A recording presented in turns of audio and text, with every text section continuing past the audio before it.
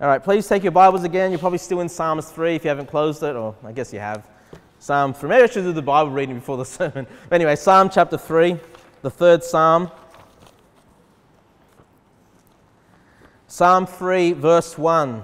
Well, the, the title of the sermon this morning is A Shield for Me. A shield for me. If you've noticed, that's, that's a term, a phrase that's found in this psalm. A shield for me. God is a shield for us. God will protect us from our enemies. God will protect us from all wrong. Psalm chapter 3, verse 1 says, Lord, how are they that inc- uh, how are they increased that trouble me? Many are they that rise up against me.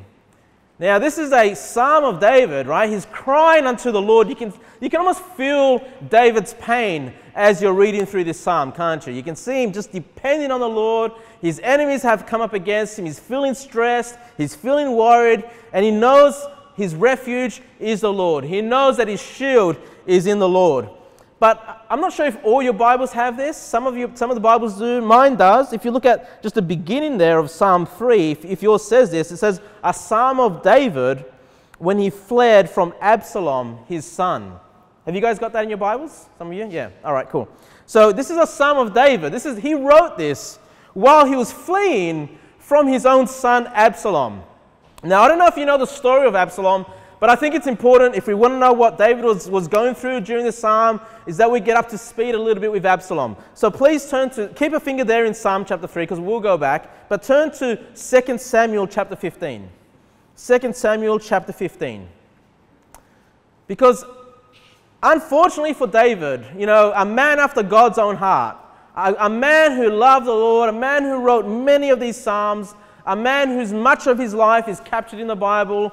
You know, we draw a lot of inspiration from David. You know, a lot of people know, you know, the people that don't even know the Bible know the story of David and Goliath. We know that David is someone that can stand up to opposition that's much greater than he is as long as the Lord is with him, right? We draw a lot of inspiration, a lot of courage from King David. But unfortunately for him, and obviously he took many wives, you know, for himself, you know, he had many children, but Absalom, his son, is one of his failures. He had a lot of failed children in his life. He failed as a father in many ways. Um, obviously, Solomon was good for most of his life, so he succeeded with some of his children. But Absalom is one of his children that he really failed with, right? And so this ought to, you know, as parents, as fathers, we ought to draw, you know, think about these things, meditate upon these things. We can be men that love the Lord. We can be men that serve in the church, go soul winning, know our Bible doctrine. But we may fail at raising our children to love the Lord in the same way. So, you know, we see these great men of God in the Bible, yet they have failures in their life. They have, you know, they make mistakes, and the Lord records those things for us so we can learn from that, okay? But 2 Samuel chapter 15, the story of Absalom. So David's already on the throne, right? He has a lot of children. Absalom, by the way, Absalom, when you start reading about him, he seems like a pretty nice guy. I think he started off as a pretty decent fellow, actually. I think he did have a fear of the Lord. He did have, you know, certain morals and, and, and things instilled upon his life.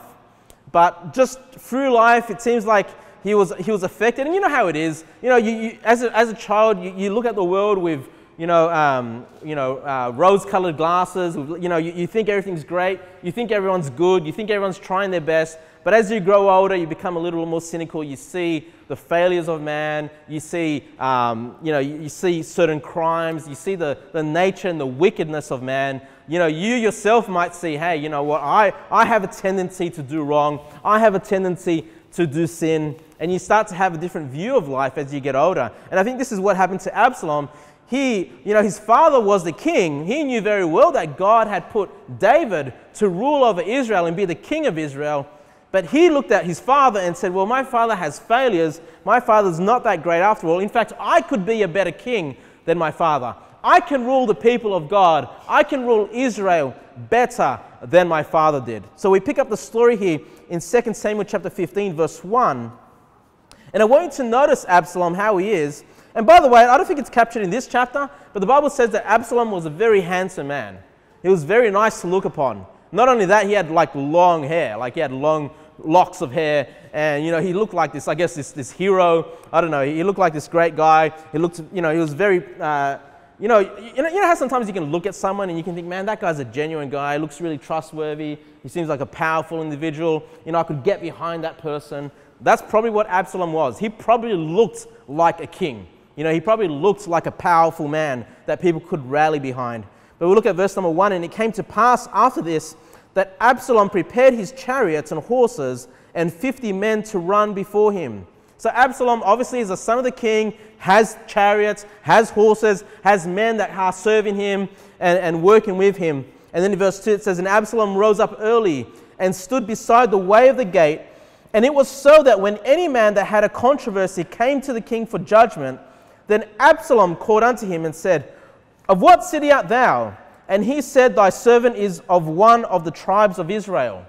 So the story here is that uh, Absalom would stand at the gate of, of, of, Jerusalem, right? People would come to the king, would, would try to come to King David with their controversy, with their problems, for King David to make a certain judgment on what needed to happen. Maybe they had someone wrong them and they needed King David to make it right, right? To pass judgment, make it right. Well, Absalom would notice these men coming through the gates. That's why he stood there at the gates. And as these people would come past, he would say, Hey, what's the problem? You know, can I help you? Is there anything that I can do for you? You know, what city are you from? He wanted, you know, he, he, was someone that was very social. He was able to get along with other people. Maybe King David struggled a little bit more in that area, but Absalom was a very social, outgoing, you know, extrovert kind of person. And then in verse 3, and, and Absalom said unto him, See, thy matters are good and right, but there is no man deputed to the king of the king to hear thee.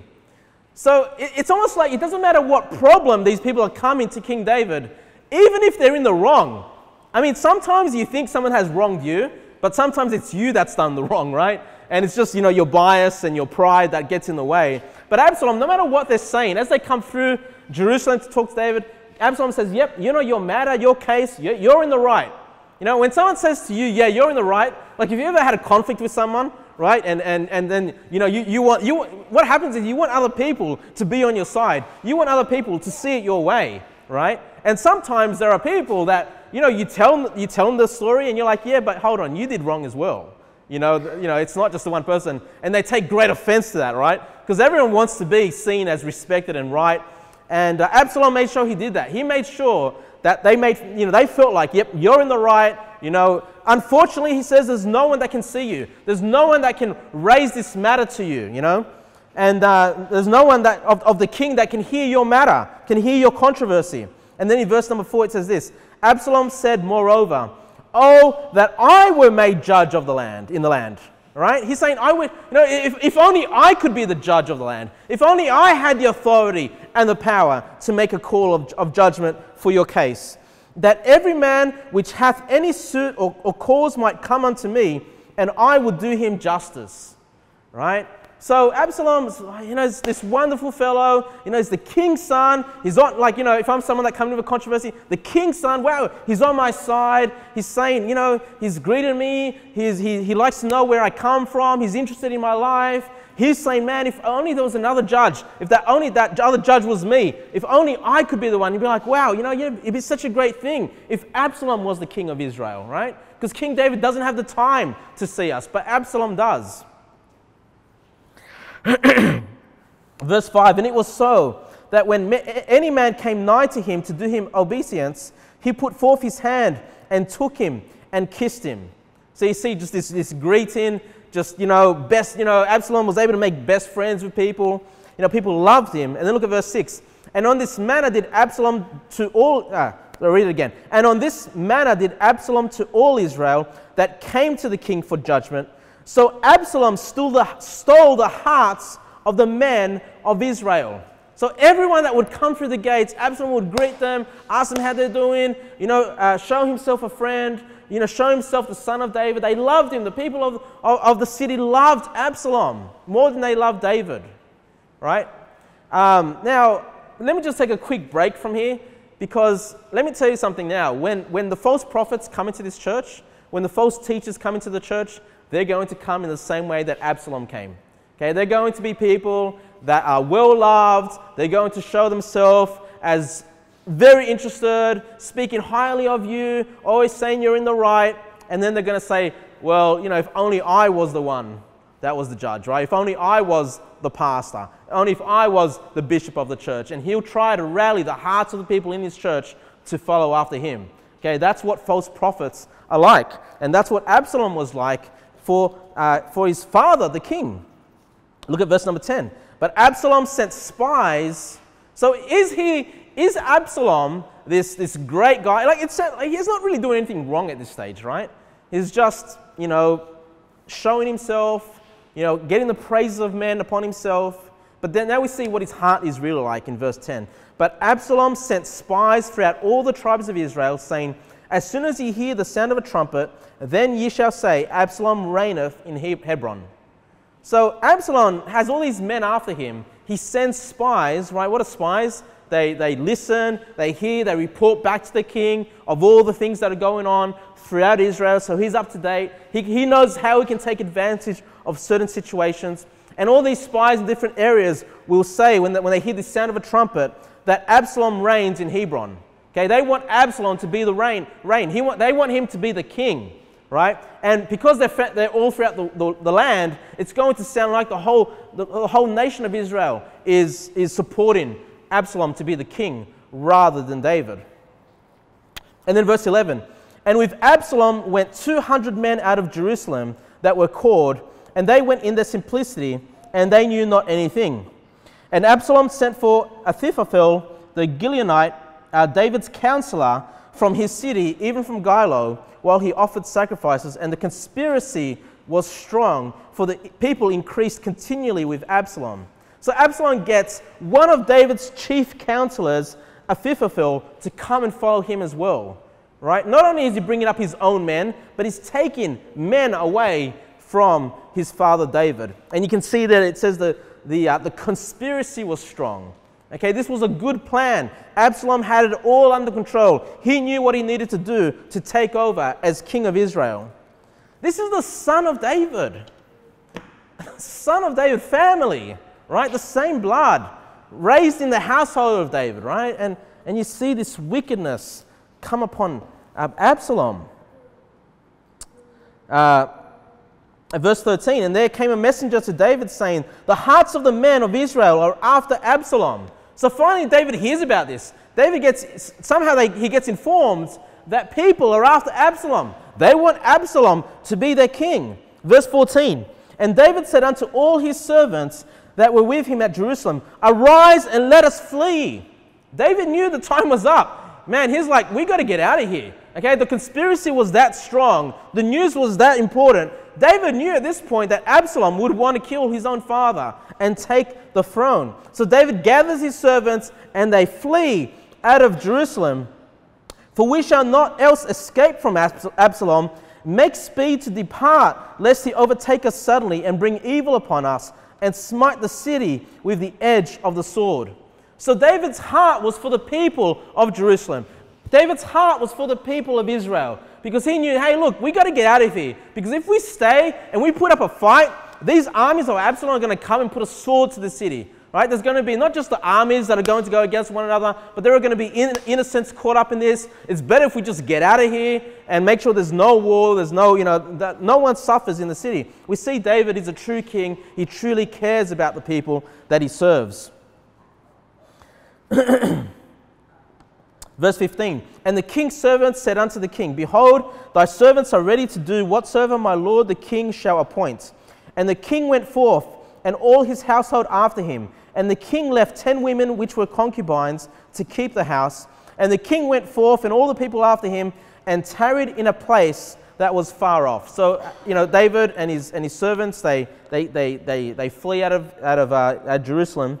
Now let's look at verse number 30. I won't read, we won't read the whole chapter, but let's go down to verse 30 because I think this is when David wrote this psalm, Psalm number 3, right? Verse 30. And David went up by the ascent of Mount Olivet and wept. And as he went up and had, and had his head covered, and he went barefoot, and all the people that was with him covered every man his head, and they went up weeping as they went up. So they're going up to, to the Mount of Olives, right? Weeping over what's happened, weeping over the fact that his son has come in and taken it and, you know, gone into Jerusalem. Uh, Absalom had set himself up as the king at this point. And uh, they're just weeping, they're just, they're just upset. Look at verse 32.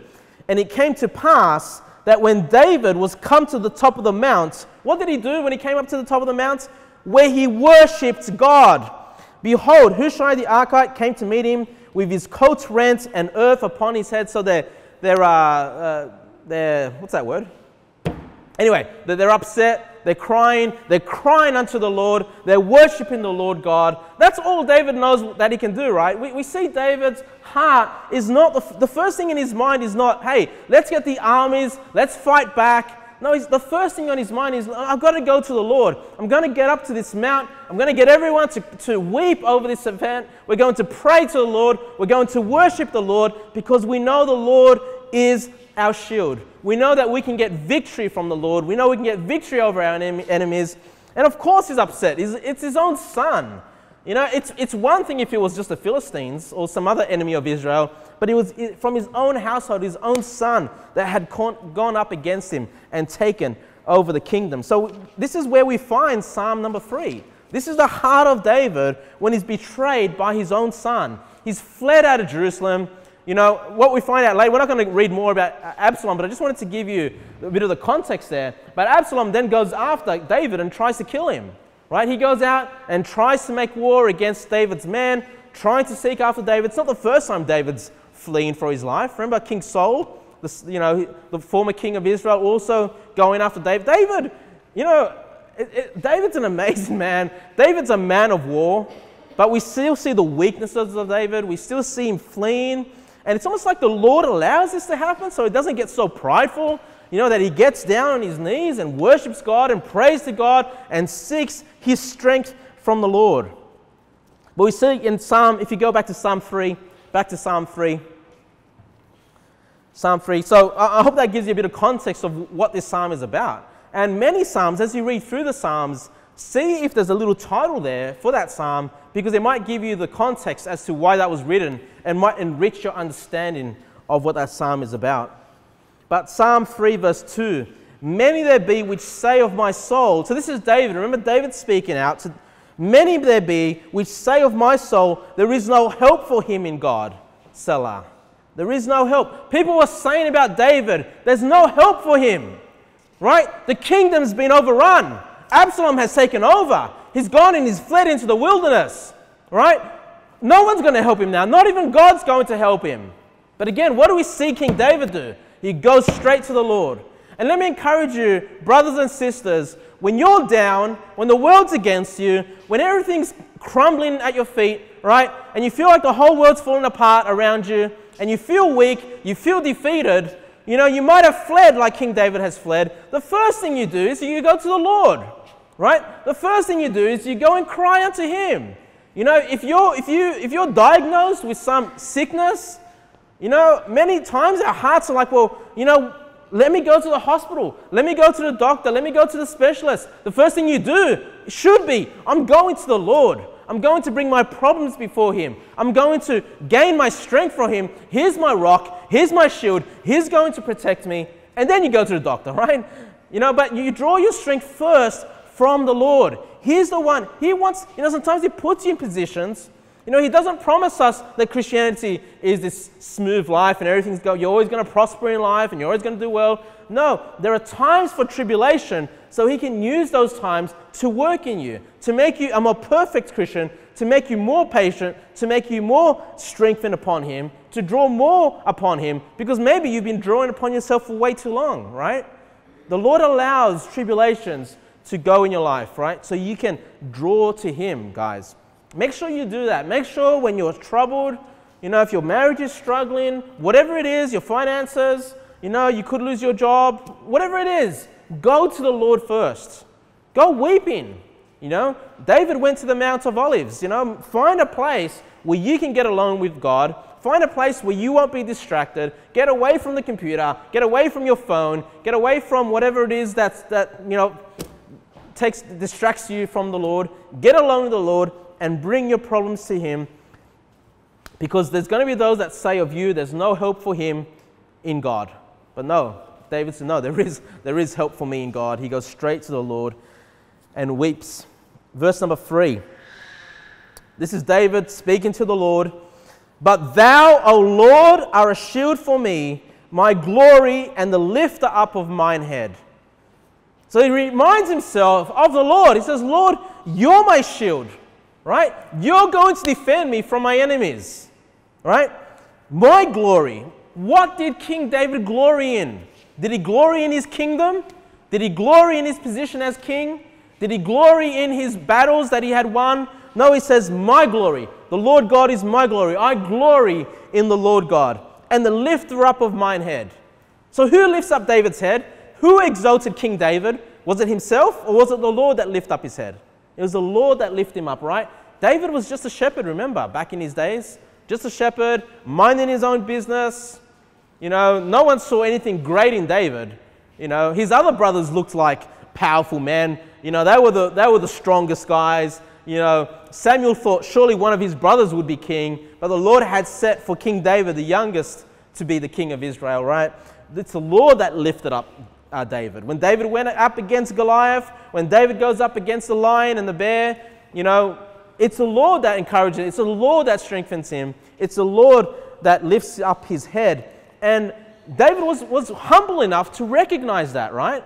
Now, if you guys, you guys might remember the story where, where David's winning all these battles, and then the, the people of Israel are praising David. They're saying, well, uh, they say of, of King Saul, I, th- I think I might get this a little bit wrong, but he says of King Saul, you know, you know, his, his, you know King Saul has, has slain the thousands, and David has slain like the tens of thousands or something like that, right? But it's the people that are praising him.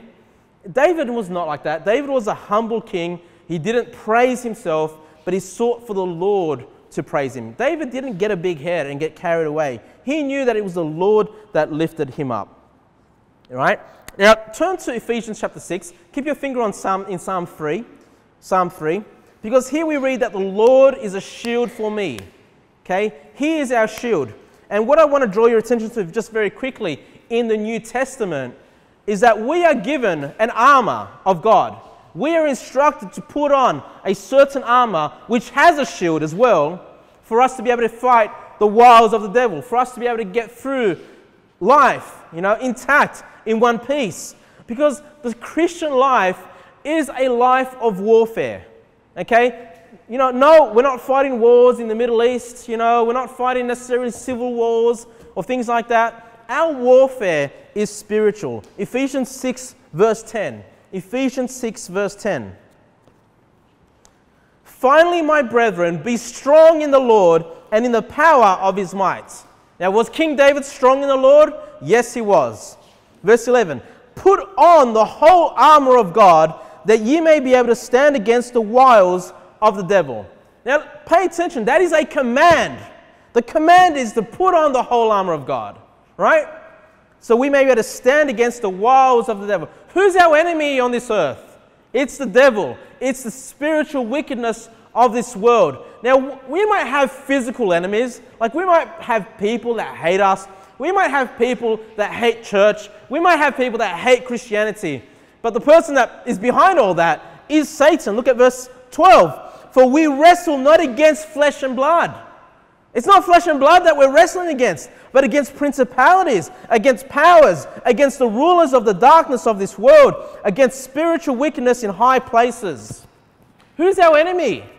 It's Satan, it's his devils. That's our enemy. We can't see that enemy, but it's there. And so God instructs us and commands us put on that whole armor, right? David, when he was caught, when he went to the Mount of Olives and wrote these Psalms, he's put on his armor. He said, The Lord is my shield, right? Ephesians breaks down this armor of God in a lot more detail for us. Look at verse 13. Wherefore, take unto you the whole armor of God, that ye may be, may be able to stand against, sorry, that ye may, able to, that ye may be able to withstand in the evil day, and having done all to stand. So God wants us to stand, right? When we're in spiritual warfare, when we're being attacked, when we're being persecuted, right? When our world is failing around us, God wants us to stand. Okay? He wants us to stand. We're not going to be living in a world of peace. Okay? The world hates the Lord. Remember that. The world hates we, we read, you know, last week, the kings of the earth take counsel together against the Lord. This world system is against the Lord, is against us. I'm sorry to say that, but that's the truth of God's word. That's what the word, word of God says. But regardless of who stands against us, the Lord wants us to stand. He doesn't want us to fall. He wants us to stand. And by taking, by standing, we're required to put on the whole armor of God. Not just some of the armor, but the whole armor, all of it. Okay? What is the whole armor of God? Verse 14 Stand therefore, having your loins girt about with truth. So that's like putting on a belt, right? Being girt, your loins being girt about with truth. So the first thing, the first part of the armor is that we would know the truth. Who's the truth? Jesus Christ, the Holy Spirit, the Word of God, right? All the doctrines that we find written in the Bible is the truth. It's important for us to know doctrine. It's important to us to know why we believe what we believe. It's important for us to be able to stand on the truths of God's word. So if we're ever challenged, or, or, you know, we, we can go back and point people to the word of God and show them the truth of the word of God, right? That's why, uh, you know, I want us to memorize verses together as a church every week. And if you're not doing it, let me encourage you to do it. So you would have, so you'd be good about with the truth. Okay, because you won't always have a physical Bible around with you, but you can have the Word of God in your heart, right? And that can be the truth that you stand on. That can be the truth that leads you from, from uh, error, that, that leads you away from false doctrine. That's part of the armor, is having the truth of God's Word. And obviously, you need your Bible, otherwise, you won't have the truth.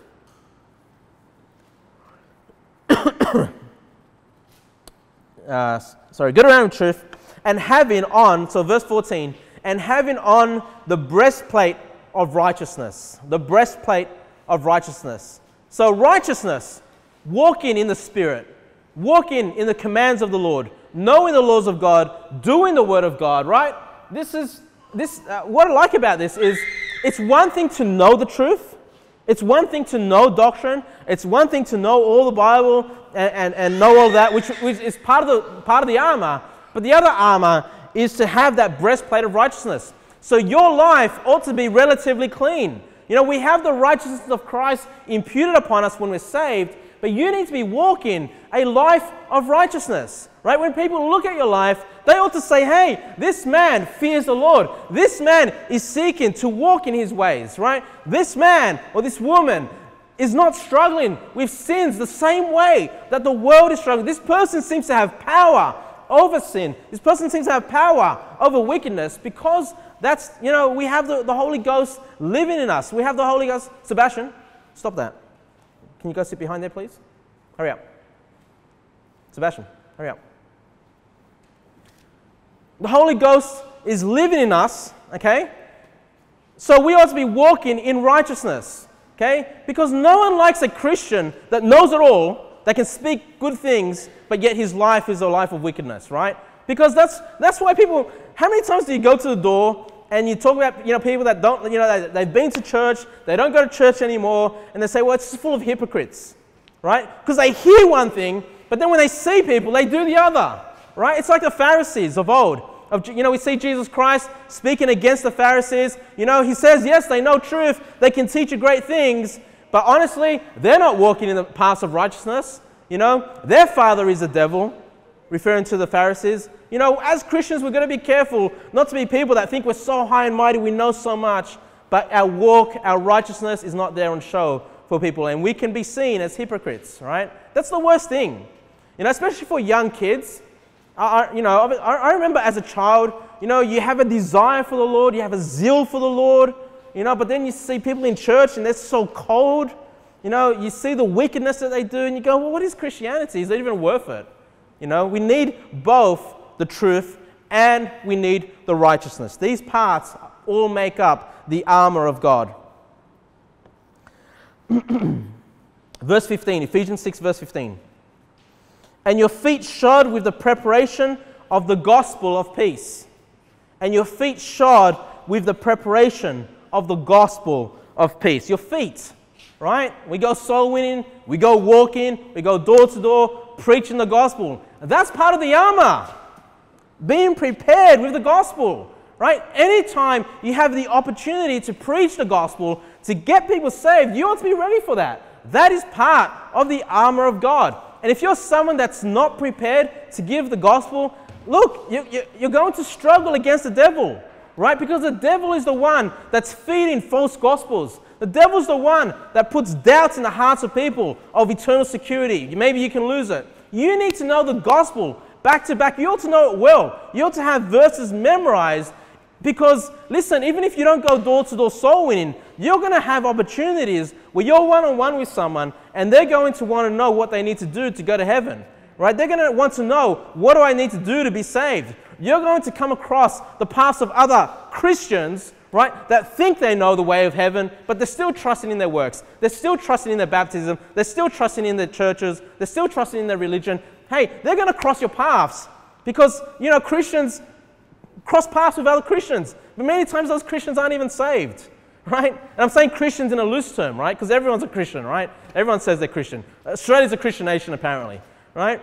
So always be ready. Part of the, the armor is to have the gospel and being ready to give the gospel at all times.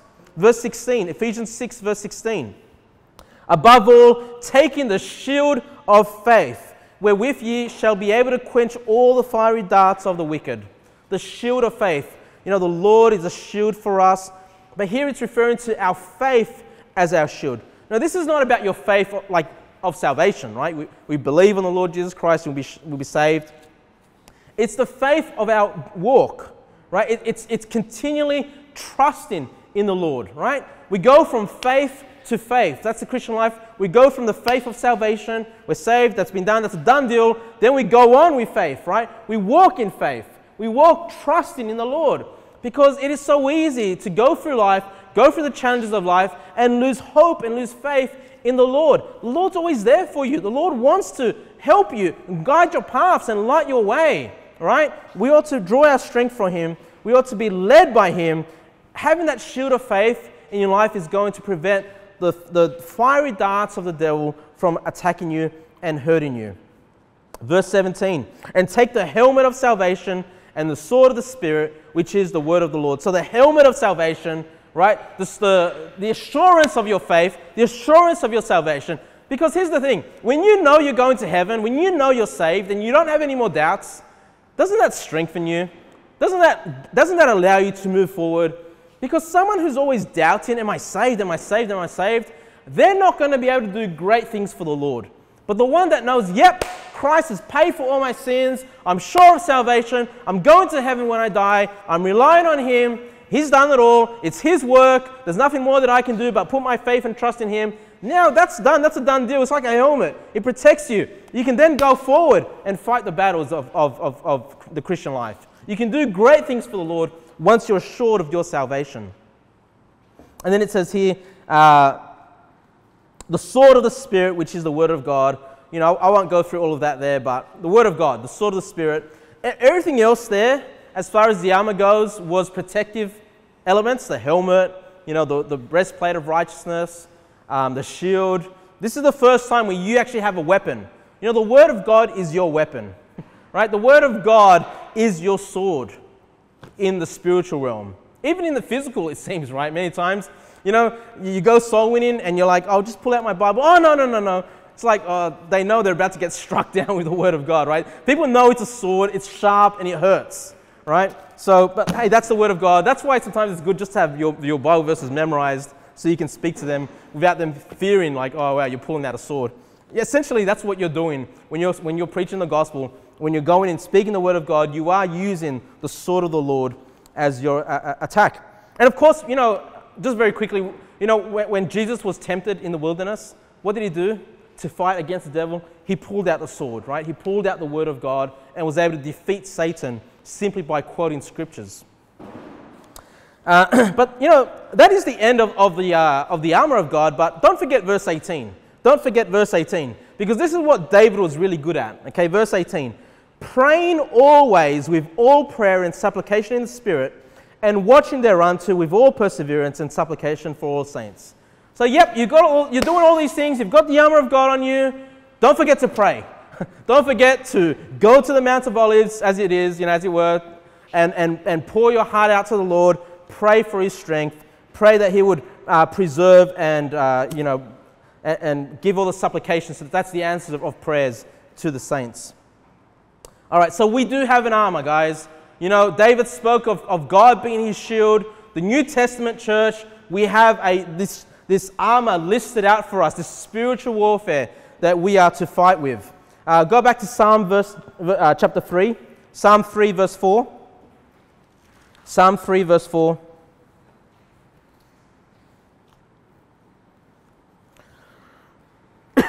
Psalm 3, verse 4. I cried unto the Lord with my voice. So we see, yep, King David definitely is praying, is crying out to the Lord. I cried unto the Lord with my voice, and he heard me. The Lord hears your prayers. Okay, you come to the Lord with your problems, with your struggles, you cry out unto him, the Lord will hear your prayer. Okay? The Lord will hear you take encouragement in that, that the Lord of the universe, the Lord who's the creator of all things, will listen to you in your strife, will listen to you in your problems. He'll hear you if you cry out unto him. And he heard me out of his holy hill, Selah. His holy hill. Do you remember, guys, from last week? What's the holy hill? the holy hill of Zion, right? Out of heavenly Zion, out of heavenly Jerusalem, in heaven, you can cry out unto the Lord from this earth, and He'll hear you from the heavens. Okay? Your prayers are powerful. It's your communication to the Lord.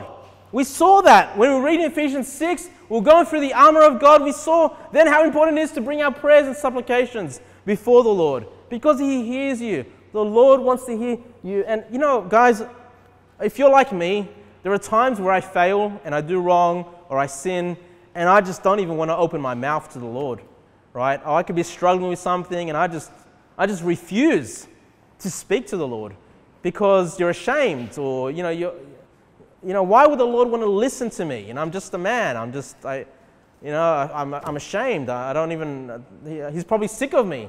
I don't know if those thoughts go through your mind when you fail. And you, no, you know, the Lord hears you. The Lord wants to hear you. His mercies are new every morning. He's faithful towards you.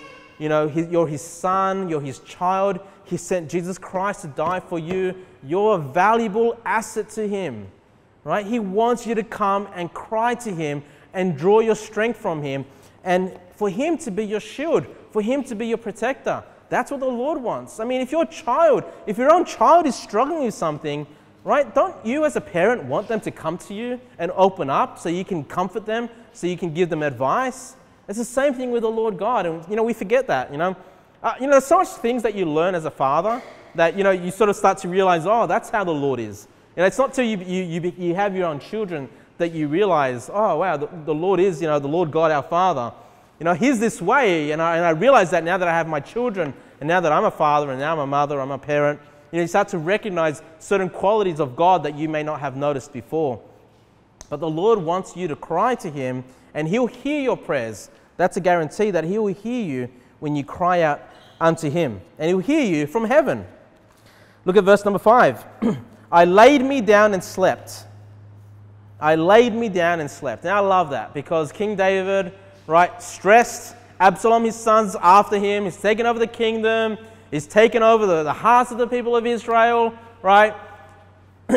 Is, you know, if, you, if you've ever been stressed, if you've ever been worried, you might recognize that it's hard to go to sleep because you've got so much on your mind, right? You got so much on your mind. You know, just, just when I was when I was in Sydney and I was coming up to the Sunshine Coast to start this church, I, I was stressed. Like there was a lot on my mind. We had to move. You know, we didn't even know a week leading in if we even had a place to stay. you know what I mean? There's so much on my mind, and then the sermons that I felt like I had to prepare for, and, and just, you know, just not knowing, like it's a new frontier, and just being so stressed and not being able to, I wasn't able to sleep. I was really tired. Like oh, the weekend that we came up here, I was so tired. There were some nights that I just hadn't slept well. You know, I was stressed. But what we see here, that's not the right approach. I mean, that, that's not how we should be. Because when we see with David, we see David, he cries unto the Lord, he knows the Lord has heard him, and then he, I laid me down and slept.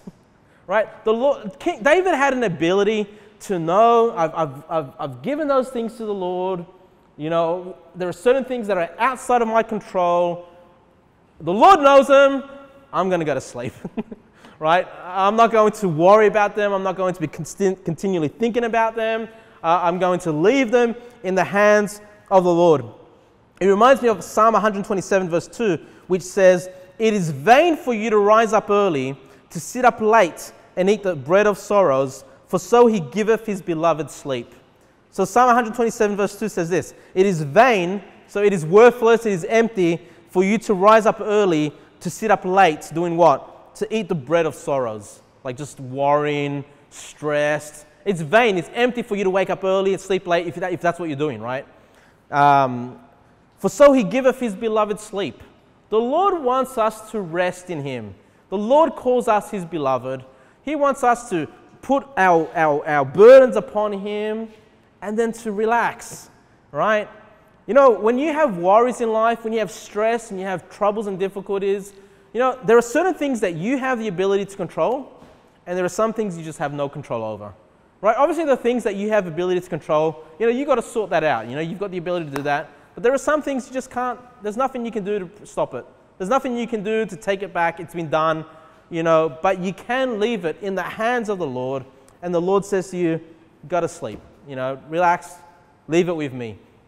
One of my old pastors in my, in my previous church would say, you know, as human beings, we have this, uh, this strange ability to, to pray to the Lord, to cry unto Him, to take off all our burdens and put them to the Lord and then when we're done praying, we pick those burdens back up and, and then we, we're, we're back off.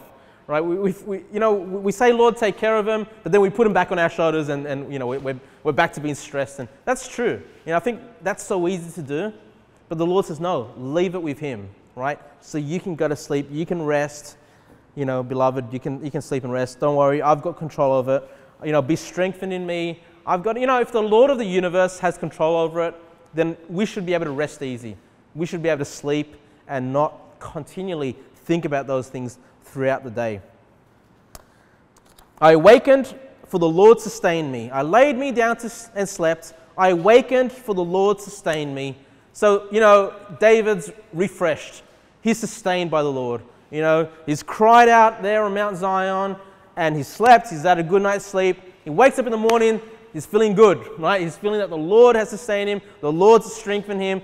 He knows the Lord's on his, on his side. And that's, you know, that's how we should be, right? We should be that. Once we leave our problems with the Lord, we should know, yes, the Lord knows it. He's heard my prayers. I'm going to draw strength from that and go on throughout my day. Look at verse number six. Psalm 3, verse 6. I will not be afraid. I love this verse so much. I will not be afraid of ten thousands of people that have set themselves against me round about. So David says, look, there can be ten thousands of people. Thousands. So that's not 10,000. That could be 20,000, could be 30,000, 40,000, 50,000. Ten thousands of people that have set themselves against me round about. I will not be afraid. You know, and look, if you're going to live for the Lord, you're going to be persecuted. If you want to stand for the Word of God and the, and the truths of God's Word, the world's going to hate you. Okay? If you you know, even just, just uh, preach a gospel of faith, a gospel of grace and not of works, you know, Christians will want nothing to do with you. You know, your, might, your own family might say, well, that's just a false gospel and mock you, right? You might have ten thousands literally of people against you. And in a way, we do, because we, we ought to stand out from this world. But he says, look, I will not be afraid. Okay? I will not be afraid. And, and this is something that, uh, you know, I'm trying to work through in my life. I'm trying to think about, you know, there could be a time where, you know, I might preach something from the Bible and then you might have the media against you or you might have other churches against you for what you preach. But the truth is, I will not be afraid, right? I will not be afraid of ten thousands of people that have set themselves against me roundabout. Why? Because it's not just that he's against David but against the Lord God. Right? If we stand true with the Word of God, if we stand true with the Bible, and we get persecuted by literally ten thousands of people, then they're actually not just against us, but they're against God. They're against the Word of God. And if there's anyone that's going to win those battles, let me say it's, it's going to be God, right? We, we see last week that He laughs, that Lord, the Lord God mocks at these people that are trying to do away with His laws, with His commands, with His Word. With God, you are never outnumbered. Okay? You're never outnumbered. Now turn with me, stay in Psalms chapter 3. Turn with me to Psalm, uh, sorry, uh, 1 Samuel chapter 14. 1 Samuel chapter 14. 1 Samuel 14. you know, people are going to go up against you, and it can even be your own family. And that's where it hurts, right? When it's your own flesh and blood, they go up against you. When all you want to do is serve the Lord and worship Him and love His word and live for Him, right? We see that with Absalom. We see Absalom went up against his own father. Um, but even when 10,000s are against you, you're not outnumbered. And what I love about the Bible, especially the Old Testament, is that there are so many wars, there are so many battles where Israel were outnumbered, right? And should have just been totally destroyed. But the Lord's come in and, and, and, and fought those battles for them. One of my favorite battles is here in 1 Samuel chapter 14. So we'll read it. 1 Samuel chapter 14, verse 1. And it's about Jonathan, Saul's son. So if you know Jonathan, he was a godly man. You know, he was a righteous man. He loved King David. But he was also a man of war. He was also a captain of Israel. Okay? And so we read about Jonathan here in verse number 1, 1 Samuel 14, verse 1. Now it, now it came to pass upon a day that Jonathan, the son of Saul, said unto the young man that bare his armor, Come and let us go over to the Philistines' garrison that is on the other side. But he told not his father. So Israel here are, are at war with the Philistines once again. You know, they're constantly at war with the Philistines that you'll read about. And, and uh, Jonathan decides to take matters into his own hands. He goes to his armor bearer and says, well, You know what? You know, I'm not going to tell my father this, but how about you and I, we go up against the garrison of the, you know, the, the barracks, you know, the, the armies of the Philistines. Just you and I. How about we do that? Just, just two people. Right? Verse number two. And Saul, Saul his father, tarried in the uttermost part of Gibeah under a pomegranate tree, which is in Migron. And the people that were with him were about 600 men. And, and Ahiah, the son of Ahitub, Ichabod's brother, the son of Phinehas, the son of Eli, the Lord's priest in Shiloh, wearing an ephod. And the people knew not that Jonathan was gone. So we have a contrast here. We have a contrast between Saul, and Saul was a believer, he was saved, and we have his son Jonathan, right? We see the difference between father and son with King David and Absalom. We see that Absalom, you know, was, was the wicked one, and King David's relying on the Lord. But with Saul, we see kind of like this reversal. Because Saul, later in his life, departed from the Lord. The Spirit of the Lord departed from him, right? He didn't want anything to do with the Lord. And then we see Jonathan, his son. He's the righteous one. He's the one that wants to go against the armies. You can be one of the other, right? You can be one. You can be like Jonathan that says, hey, we've got a battle to fight. Let's do something about this. Or you can be like King Saul, who just says, well, there's a battle there. You know what? We'll just, we'll just, we don't know what to do. We'll just stand still and sit underneath this pomegranate tree, right? We see one takes action and one doesn't. We with Jonathan. And uh, verse, four, uh, verse number four. And between the passages which, uh, by which Jonathan sought to go over unto the Philistines' garrison, there was a sharp rock on the one side and a sharp rock on the other side. And uh, the, uh, and the name of the one was Bozez, and the other, and the name of the other, Seneh. So it's like these, these cliffs. To, to get to this garrison, you had to go down this one cliff, and then there was this other cliff to get to, this, to, the, to the armies of the Philistines. uh, and uh, verse 5 The forefront of the one was situate northward over against Michmash, and the other southward against, over against Gibeah. And Jonathan said to the young man that bare his armor, Come and let us go over to, unto the garrison of these uncircumcised. It may be that the Lord will work for us. So he says, Look, let's go against these, this garrison, let's go fight against these people. Just you and I, just two of us against the whole army. It may be that the Lord will work for us. You know, Jonathan had, had the faith to say, hey, the Lord might come and help us. The Lord might come and fight this battle. You know, I've got, I've got faith in the Lord in that happening. And then I love, I love the, these next few words that he says For there is no restraint to the Lord to save by many or by few. Right? There is no restraint to the Lord to save by many or by few. Does the Lord need a great army to defeat the enemies? No, it can be many, it can be few. The Lord's not restrained by how many stand up for Him. You know, and we're a small church. right? We might say, well, you know, I wish our church was larger. I wish our church had more people. Hey, there's no restraint to the Lord to save by many or by few. We can do, as few of us as there are, we can do great things for the Lord. We can be like Jonathan and the armor bearer and take on the whole garrison as long as the Lord is with us, as long as the word will work for us. Verse 7 And his armor bearer said unto him, Do all that is in thine heart, turn thee, be- turn thee. Behold, I am with thee according to thy heart. And I, I, love the armor bearer. I mean, if, if I was Jonathan's armor bearer and Jonathan's saying, hey, just the two of us against the whole army, I'd be like, Jonathan, what are you doing? Like, that's crazy. Right? I mean, what, but no, the armor bearer is a righteous man. The armor bearer fears the Lord. The armor bearer has faith in the Lord. And, you know, it, it's, even though there's a few of us, it's great when just a couple of us can get together and support one another, right? We can do so much more when there's multiple, multiple, you know, that's why soul winning is so hard. You know, just going soul winning is so hard when it's just one of you. You know, if you don't have a church that's sending you out, when you don't have friends that can get together and go soul winning, it's so much harder when it's just you doing it. But when you've got the armor bearer, when you've got that silent partner, when you've got that friend that's ready to go into the battle with you, you know, you can do great things and you can be encouraged by one another. Verse 8 Then said Jonathan, Behold, we will pass over unto these men and we will discover ourselves unto them. So we're going to go to these men and then we're going to show them who we are. We're going to, you know, discover ourselves. We're going to make ourselves known. If they say unto us, tarry until we come to you. So if they say kind of like tarry, like stop, you know, what are you doing here? Then we will stand still in our place and will not go up to, unto them. So if they say stop, tarry, you know, then we won't go and fight. But if they say thus, come up unto us, then we will go up, for the Lord hath delivered them out of our hand, and this shall be a sign unto us.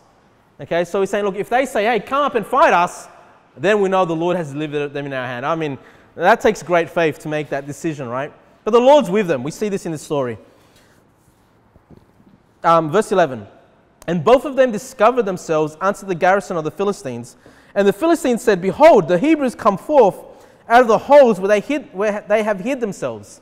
Because they only see two, right? In, in the Philistines' mind, they're going, hold on, the Hebrews must be here and they're hiding in holes. They must be underground somewhere because they only see two of them. It's like, it, it's, it's unreasonable, it makes no sense that there, there can only be two of the Israelites coming to fight us. So in their mind, they're thinking the whole Hebrew army has come up against them. Verse 12 And the men of the garrison answered Jonathan and his armor bearer and said, Come up, come up to us, and we will show you a thing. And Jonathan said unto his armor bearer, Come up after me, for the Lord hath delivered them into the hand of Israel. So they're like, Yep, come up, come up and fight, you know? Come up. Like, remember, it's a cliff, so they've got the high ground. And in an army setting, if you've got the high ground, you've got the advantage over the army that's got the low ground, right? But there's only two of them coming up. Jonathan goes up first, then he says, Once I'm up, then you come up, right? Just one at a time. uh, uh, sorry, we're up to there in verse 13. And Jonathan climbed up upon his hands and upon his feet, and his armor bearer after him. And they, and they fell, so the, the armies of the Philistines, and they fell before Jonathan, and his armor bearer slew after him. And the first slaughter which Jonathan and his armor bearer made was about 20 men. So the, there's 20 of them. They, these two guys are able to defeat 20 men, right? That's 10 each, you know, within, as it were, a half, a half acre of land which a yoke of oxen might plow. And there was trembling in the host. So the rest of this army is hearing about this battle. They're hearing about these 20 men that have been defeated, and they're trembling. In the field and among all the people, the garrison and the spoilers, they also trembled. But now look at this. Now the Lord steps in. Okay? Because keep in mind that Jonathan is a captain of Israel, of the army. He's fought in many battles. He's a skilled swordsman. I'm assuming his armor bearer is also very skilled. So they were able to defeat these 20 people. But now the Lord steps in, and the earth quaked. So it was a very great trembling. So the, there's an earthquake taking place, right? The Philistines, they see, they think the armies of, of, the, of the Hebrews, they think the Israelites have come against them. And now the Lord makes it that the earth quakes. Verse 16 And the watchmen of Saul in Gibeah of, John, of Benjamin looked, and behold, the multitude melted away, and they went on beating down one another. So the, the armies of the Philistines are so panicked that they have the earthquake. I'm assuming they think the whole army of Israel has come upon this garrison, and there they are beating down one another. They're fighting against themselves. They don't even know who the enemy is. They're so afraid. The earth has been quaking. They think they're going to lose their life. They start fighting against each other. The Philistines start fighting against each other, right? So you have these two guys. They go up against these 20. The Lord steps in. They panic. They all start fighting again. They don't even know who the, who the enemy because they're assuming there's an army. They're assuming these guys have come. They can't, obviously, they're, they're running scared and they see people with weapons. They're fighting, they're fighting them. And they don't realize it's their own people that's, that they're fighting. The Lord has stepped in and done an amazing miracle. I, I love that story because it's just two guys taking on the whole army. Two guys, the Lord steps in and he does wonderful things for him. You know, you're not outnumbered with the Lord. That's just one story in the Bible. There's so many stories there that we can get encouraged from when we feel like the whole world's against us. No, you've got the Lord. You've got the Lord. The Bible says in 1 John 4 4, Ye are of God, little children, and have overcome them, because greater is he that is in you than he that is in the world. Greater is he that is in you. If you're saved, you have God dwell in you, the Holy Spirit in you. Greater is he that is in you than he, the devil, that is in the world. It's amazing, amazing power, you know. Eh, sometimes as Baptists, we shy away from this because we think this is charismatic or Pentecostal. There's, you've got great power at your disposal because you have the Lord in you. You have the Word of God, which is your sword. You know, you can fight amazing spiritual battles. You can do great things for the Lord, just like these two guys did that fought against the whole army. You know, when you're facing thousands, you've got to step out in faith. That's what Jonathan did. That's what the armor bearer did. They stepped out in faith, didn't they? They trusted in the Lord. And they did what they could do. They did what they could do. They defeated those 20, right? They did what they could do. Same thing with you. When you're, when you're going through trials, you have faith in the Lord. You do what you can do, but what you can't control, you leave to the Lord and let Him deal with that earthquake, right? Hopefully, He, he sends that earthquake your way to save you. Back to Psalm 3, Psalm 3, verse 7. Psalm 3, verse 7. so even though uh, uh, David at this point has, uh, has slept, he's been sustained, he's been encouraged by the Lord after praying to him, he says this in verse 7 Arise, O Lord, save me, O my God, for thou hast smitten all mine enemies upon the cheekbone. Thou hast broken the teeth of the ungodly. So, what do we see here? We see David looking back at past victories, looking back at past battles. He says, Lord, you know, you've smitten all my enemies. Like he's looking back in the past, all the wars that he's faced, all the battles that he's won, all the victories, all the answered prayer in his life. He says, Lord, you know, he's reminding himself of what the Lord has done in his life, right? He's been strengthened by that. And it's the same thing that we ought to be. You know, when we're going through the struggles and the trials, we ought to look back at our life and go, look, look where the Lord, look where I was, and look where the Lord has brought me. You know, remind yourself of the prayers. These are things that are raised before the Lord. These are things that I've been praying for in the past, and He answered those prayers. So that ought to encourage you now in the present, right? When you feel like everything's falling apart, it should encourage in the present that in the past the Lord's come through for me. In the past the Lord has answered my prayers. In the past He's defeated my enemies. And therefore I can look forward to the future because He's going to continue doing the same for me. He's going to continue defeating my enemies. He's going to continue continue answering my prayers. And so we see David drawing strength from the past battles, the past victories. We ought to do the same thing. And that's why I encourage you guys to write down your prayers, right? Have a journal, have something where you, you pray about something to the Lord, you write it down, because when it's answered, you can tick them off and say, yep, the Lord has answered those prayers, right? And I've said this before in other sermons, because many times the Lord will answer your prayer and you just forget that you even asked about it. You'll forget that the Lord answered it, right? But the Lord has stepped in right? The Lord has stepped in into your life. He's, he's made time and, and uh, events change for your sake to answer that prayer for you. It's not just a coincidence. The Lord stepped in and answered those prayers, and David drew strength from that. You too ought to draw strength from answered prayers.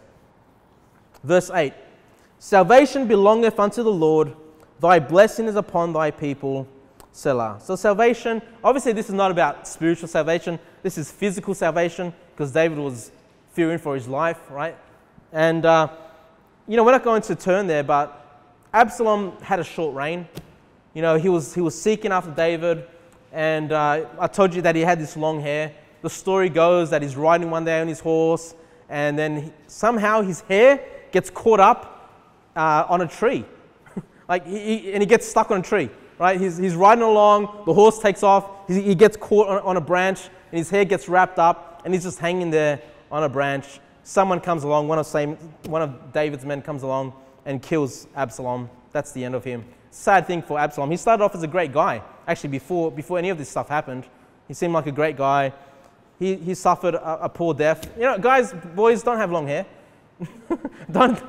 I, I, this is not about long hair, but you know, I mean, it, it, does no good, especially if you're going into battle. You know, you're going to get caught up in that hair, and then that's the end of it. but yeah, Absalom had that long hair. It, it, was his downfall, right? His beauty, the things that people uh, rejoiced in, that was his downfall. His long hair, caught up in that tree, the end of him. Salvation belongeth unto the Lord. Don't step in and take revenge. You know, give place unto wrath. Give place to God to step in and do amazing things for your life. Look, the Lord that the Lord that delivered Jonathan and the armor bearer from the Philistines is the same God that we worship. It's the same God that saved you. It's the same God that listens to your prayers. Same God that defeated these enemies. Like sometimes we read the Old Testament, they sound like fairy tales. No, they truly, they really happened. It's the same God that we worship. It's the same one that can do these things and do greater things in you, okay? So, yeah, look, that's Psalm 3. Just, I, I just hope that it's encouragement to you. I don't know what trials, we all go through trials.